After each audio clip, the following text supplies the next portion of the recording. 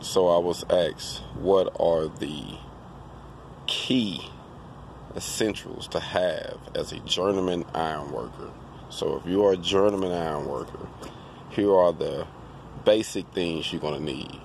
And you don't have to have an expensive harness like I got.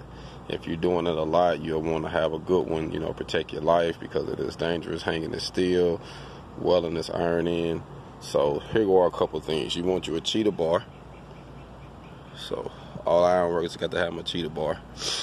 You want you a hard hat that connects to your weld hood, to your welding hood, and you can be able to grind with it, got a clear lance.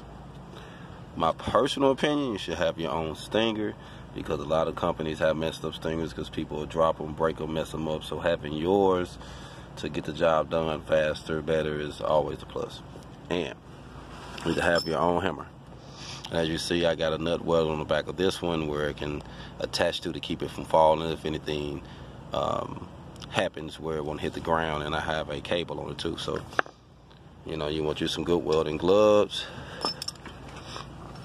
You want you one of these. These are very assets. So if you say you um, got to put a pull a bead together and it's tight, you can use this here, this cheater to use it to uh, pull the beam together. Though that is an asset.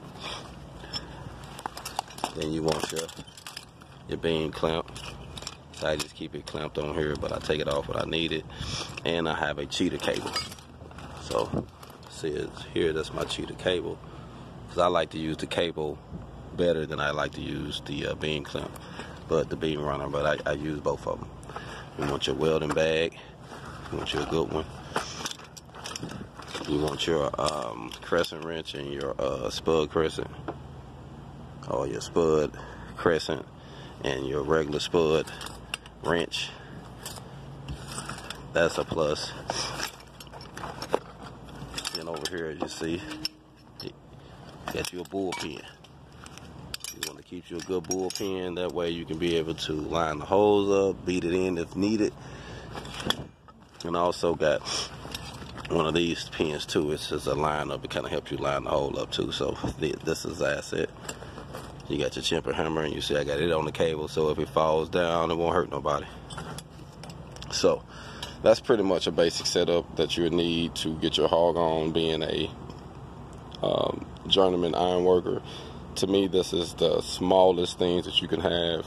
You know, you got your lanyards on there and, and everything. And I got double lanyards on mine. So you just want to have everything that you need to be able to be safe and to get a bag. Hold on.